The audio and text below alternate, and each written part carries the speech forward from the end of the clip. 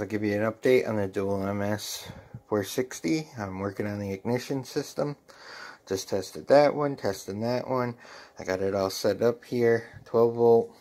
We're going to give it a quick run, really quick, so you can see one of these spark. Alright. Light up. Alright, so I'm working on the wire harness. I think we got this all figured out. Well, once the uh, connectors get here, all that crap will connect to that. So there's my wiring harness. Almost looks like I know what I'm doing.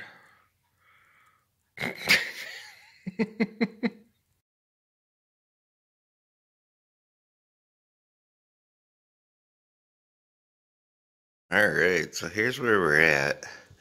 I grounded each plug to the plate since this gets put directly on the engine. My two coils, they're wired up to CDI. It's a little wiring harness to here. Now this is where these are supposed to go. But I'm having an issue with these. what happens is, let's see, the yellow wires there. I'm getting like a uh, very low voltage generated when one goes off to the other.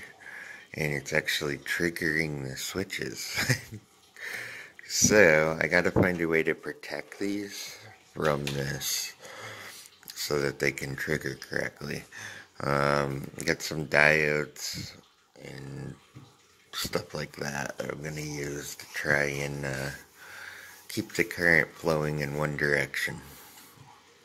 So I'm going to give that a try. Um, this does work if you do it manually at the moment. These do work too. It's just right now they're getting triggered on and off a little bit because there's some noise coming back through. So it happens at high voltage. So all in all, I think this is going to work out pretty well. Looks good. I just got to get the uh, switch situation figured out. Alright guys, so I got this all set up. Power in, all that. I'm going to use this because the uh, two switches just are getting affected by some noise off these yet. So I just got to isolate those. I got a couple people uh, giving me some ideas on that. But when you uh, do this manually,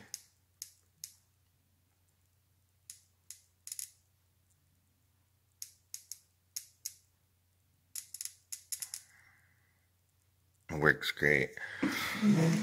So, my biggest concern about this was if you have the switch stop in a certain uh, area, will it burn one out?